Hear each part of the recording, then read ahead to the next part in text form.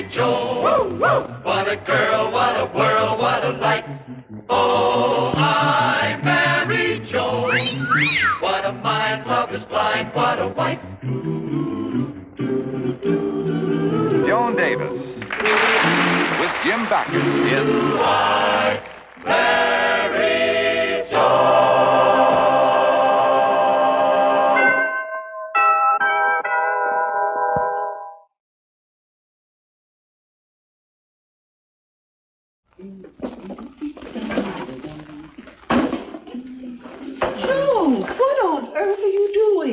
Oh, hi, Aunt Vera.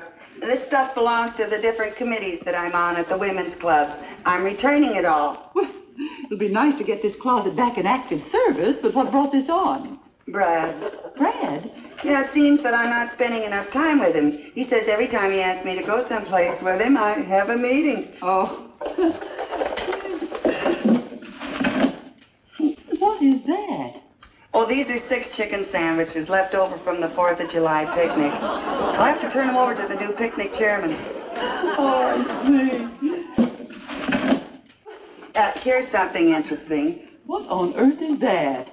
Uh, this is the cast from Florence Bishop's broken leg last year. What are you doing with it? Oh, I'm also chairman of the Historical Archives Committee. Look, all the girls sign their names. Oh, wonderful.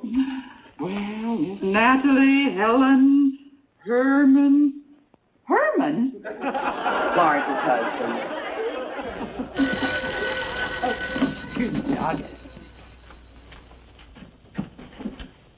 Hello? Oh, yes, Alice, she's right here. It's for you, Joan. Alice Tucker. She's chairman of that horrible play that the club is giving. It's a real turkey. I saw her rehearse it. I know what she wants. She probably wants me to go out and sell tickets. Well, I'm just not going to do it. I promised Brad that I wouldn't do any extra club work. I'm not even going to go and see the play. If there's anything that I can't stand, it's amateur theatricals. I'm going to have absolutely nothing to do with it. Besides, Alice is an awful pest. Hello, Alice, dear. Yes, I know. You're calling about the play. Well, you see, I promised Brad, and I could... Huh? You want me to play the lead? Well, what about Jane? She's been rehearsing. I thought that... Hmm? Oh, laryngitis. Well, yes, I'd love to. Say, we're all going to have to get behind this thing and sell a lot of tickets, aren't we? Oh, yes, I'll, I'll rush right down and get the script, dear. Mm-hmm. What? Oh, you have the costume and wig ready also? Well, that'll be fine. Goodbye, sweetie. Gee, Me playing the lead. Gosh, Joan. golly. Joan. Jiminy. Tallulah. What is it, darling? How can you be in the play? You promised Brad you'd give up club work. Oh, but this is different. I- I'm playing the lead. Oh. And it's a perfect part for me. I play the part of Gwendolyn, a beautiful but scheming brunette who is... Brunette? I wear a wig. Who is very tall and statuesque. Very and tall. I wear platform shoes. Who has this voluptuous figure who simply... Voluptuous figure. Uh, Please, Vera, stop interrupting, dear. Now, you come over and I'll tell you all about it. you see, I'm married to Noel, a fabulously wealthy man who simply bores me to death. I also have a boyfriend, Roger, who is after me for Noel's money. So I divorce Noel after getting his money, and I marry Roger, who becomes a bigger bore than Noel, who becomes my boyfriend because he is after me for Roger's money, which used to be Noel's. Then I meet, um, Cecil. Who's Cecil? Nobody. I just want to see if you were paying attention.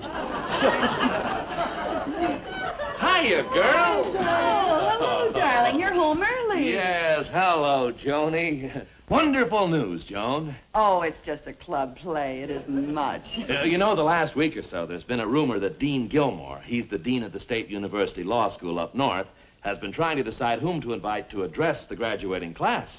It's uh, quite an honor, you know. Oh, that's wonderful. And I have wonderful news for you. I'm Gwendolyn. Oh, well, that's fine, honey. Now, this afternoon, he called me and invited us to have dinner tonight with him and his wife. Oh, that's nice. You see, in this part, I play a socialite who is very sophisticated. Oh, oh, that's that's good. Now, I actually haven't been invited to address the class yet, but I can tell you this. The fellow who spoke to the class last year, today, is a federal judge. Bully. You see, my husband Noel is a federal judge. Brad, how wonderful. When are you going to get the Wait, appointment? wait a minute, wait a minute, honey. Not, not, not quite so fast. He hasn't asked me yet. But I, inviting us to dinner is a very good sign. Now, I particularly want you to make a good impression on Mrs. Gilmore. The dean is uh, somewhat uh, influenced by her. Oh, he's henpecked, huh? Now, don't you dare to suggest a thing like that in front of them. oh, I won't, dear. I'll be on my very best behavior. Well, you'd better, because I don't want anything to go wrong. Absolutely nothing. Now, uh, money is no object. I uh, want you to look your best tonight. Wow! your very best. Really want you to look beautiful tonight.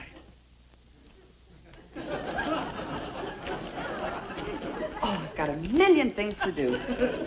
First, I've got to get a shampoo and a facial and a manicure and pick out a lovely hat. And, oh, what am I going to do about picking up the script and the costume and the wig? Oh, don't worry, darling. I'll pick those things up for you. Oh, thanks, Aunt Vera. You're a real doll. That'll give me more time to choose just the right hat. Brett, I'm so happy. You're going to be a federal judge, and I'm going to be Gwendolyn. Yes, sir. A federal judge. Gosh, won't Gwendolyn be proud of me? Gwendolyn.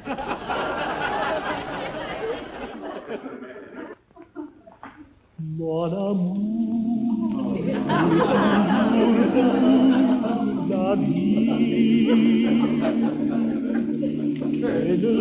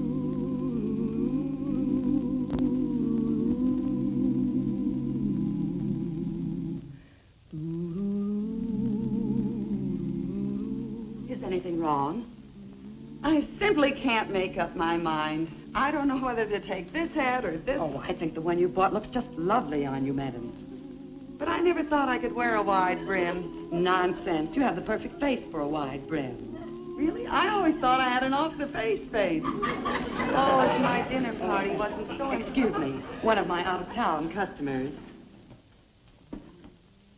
Good afternoon, Mrs. Gilmore. May I help you? Yes, Helena, I want something very cocktailish. We're night clubbing tonight, the Dean and I. I think I have just what you like. Some lovely things came in just yesterday.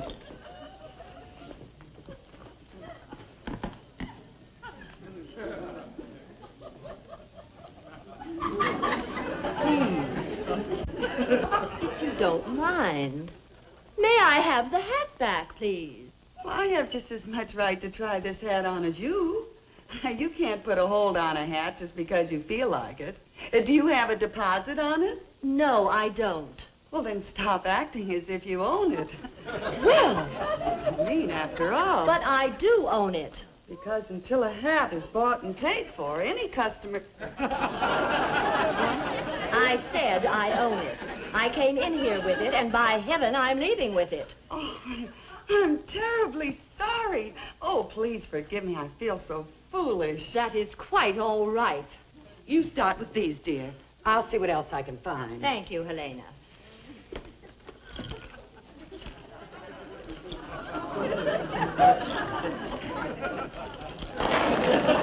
Just what are you doing with my purse? Your purse? Why, I must say you have your nerve, rummaging through another person's possessions. What is the matter with you? Now, hold on there. I don't rummage through other people's belongings at all. This happens to be my purse. I left it right here. Or did I leave it right here?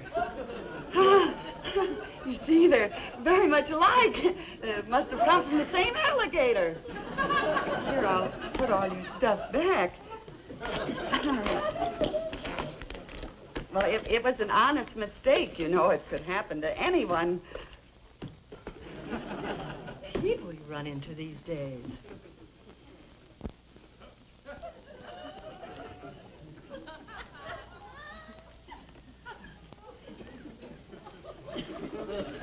I had the hat first. No, you didn't. I picked it up just the same time that you did. The sales lady brought this hat especially for me to look at.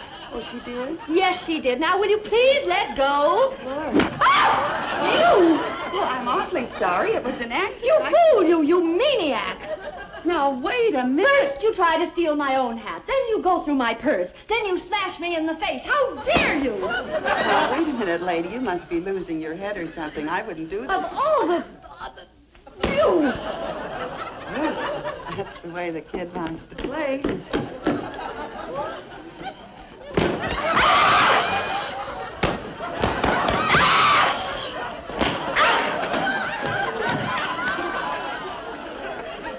Now, wait a minute.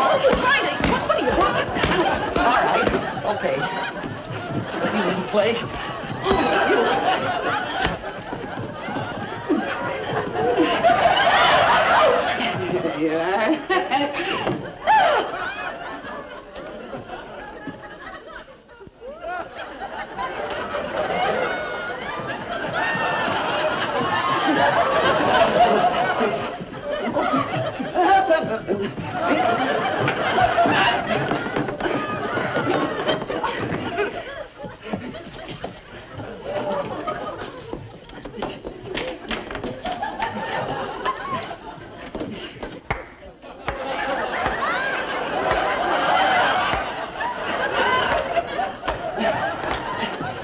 Okay, let's change sides. It's your serve. Oh, that's what I needed. What's going on here?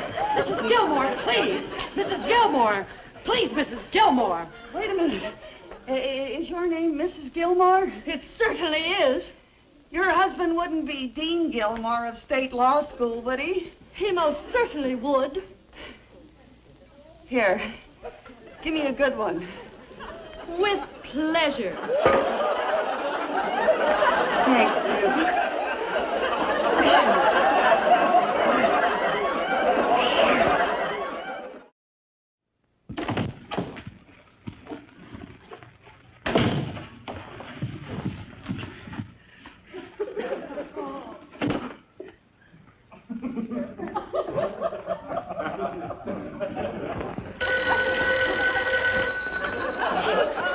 Hello. Hello, Joan. This is Brad. Hello, Brad, darling. Look, honey, I just have a second. I just called to tell you it'd be a change of plans for this evening. Seems Mrs. Gilmore had an accident. Really? Was it serious?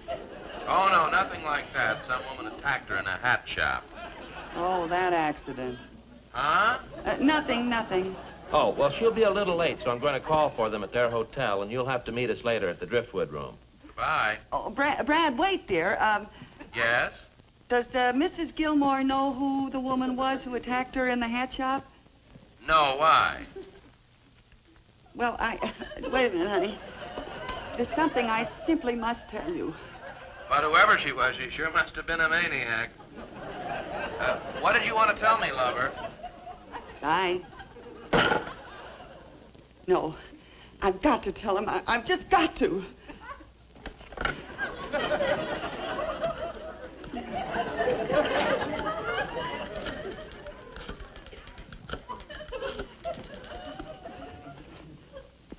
Hello?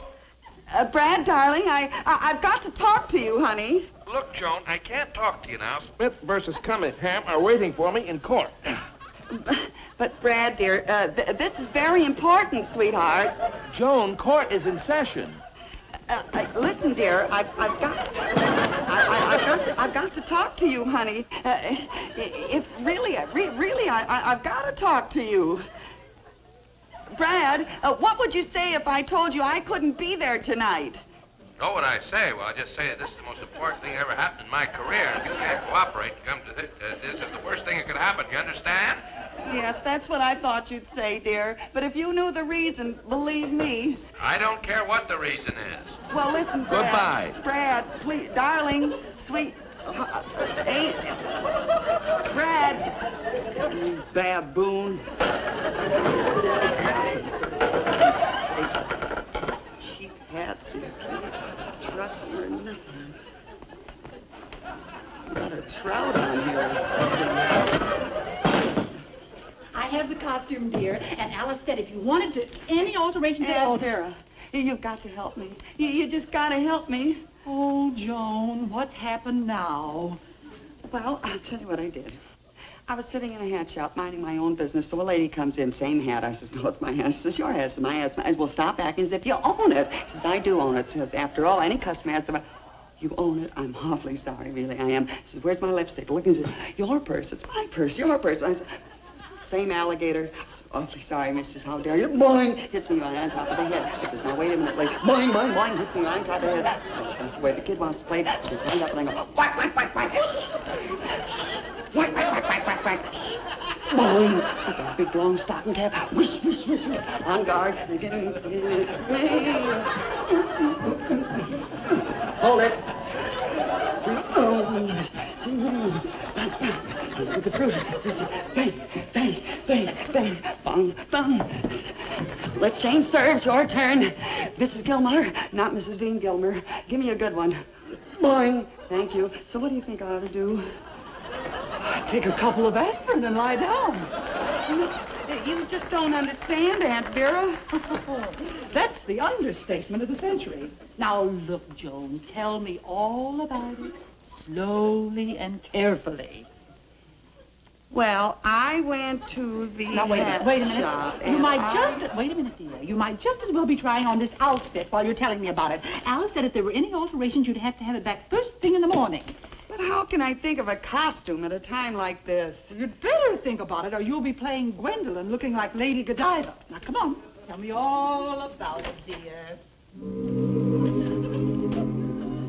Brad wouldn't give you a chance to explain, huh? No, he just said if I know what's good for me, I better be there and hung up.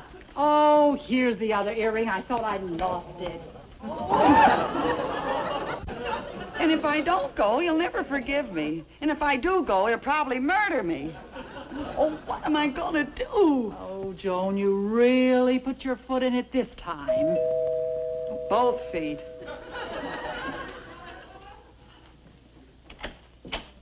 Hello, Vera. Oh, Gladys, what are you doing over here? Joan said you were having company for dinner tonight. Well, I am, but we... Oh, how do you do? We ran out of cigarettes, and I was wondering if you had some you could lend me. Oh, certainly. Is that enough? Oh, sure, thanks. Tell Joan I'll return these tomorrow.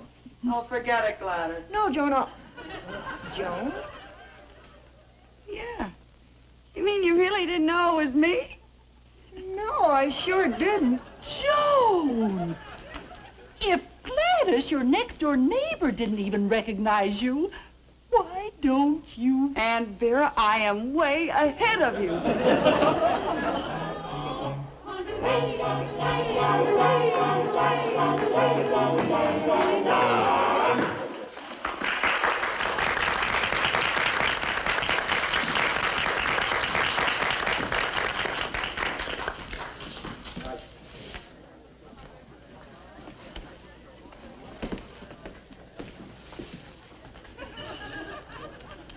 at me.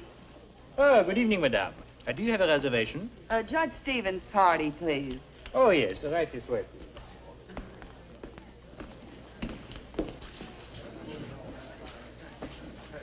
May I check your app? If you please.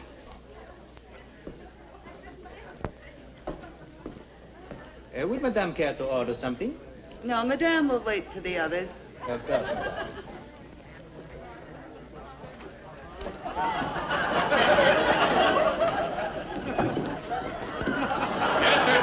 certainly was a funny one. I'll have to remember that one. He has a million of them. I'll bet he has. Yes, that one that he told me. Uh, Captain, What's this? I don't know. Oh, good evening, sir. Did you have a reservation? Yes, Judge Stevenson party. Oh, yes, Madame is already here. No, all right. Uh, check your coats, gentlemen. Yes, yes, fine. Here we are, Dean. I uh, understand it's a pretty good show.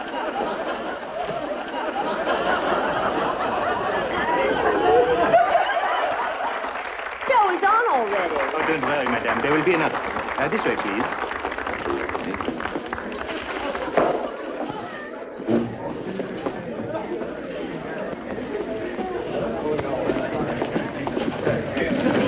Mind if I sit next to your Oh, charming wife? certainly, certainly. A very good table, Judge. Uh, I thought you said Madame was already here. Uh, well, she was a moment ago. Well, yes, she's probably freshening her lipstick or something. You know how women are. Is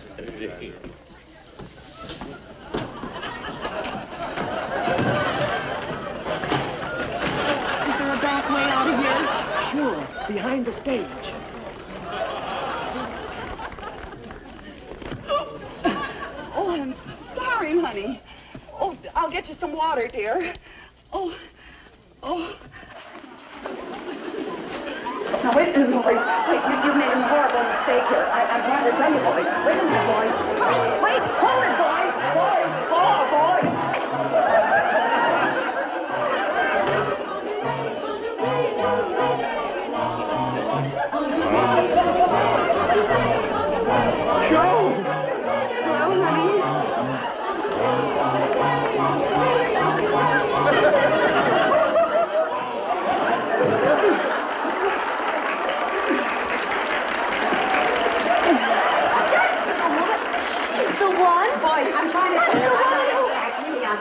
Did a horrible mistake.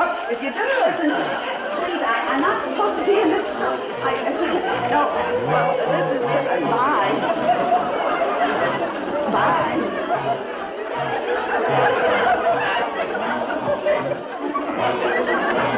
I'm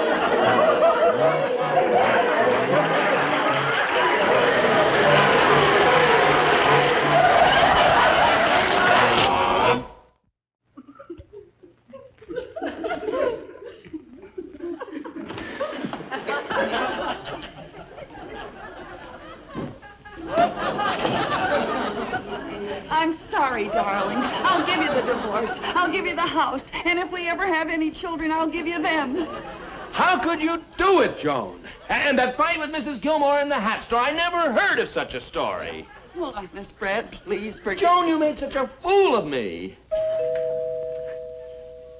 And you ruined my career. What is it?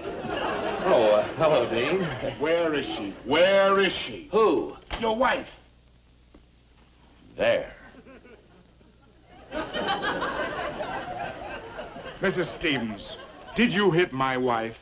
Yes, Dean, but please, won't somebody let Joan, me... I can't understand how you could do it. But I tried to tell you, You're the first woman who ever hit my wife. Oh, I'm sorry, Dean. You see, I didn't mean it. You gave her a good wallop, too, didn't you? Well, yes, it was a beauty. But honest... Mrs. Stevens, you're wonderful. Huh? You're the first woman who ever had the nerve to stand up to my wife. I know I never had the courage. It was really nothing at all, Dean, anytime. Say, and by the way, uh, let me give you a little lesson in how to handle your wife. You see, you just take a nice soft hat like this, and when she gets a little fresh, you go, whop, whop, whop, whop. You answer me like No, I guess I was wrong. I tell you what you do. You just give her a nice kiss, like you gave me. You mean like this?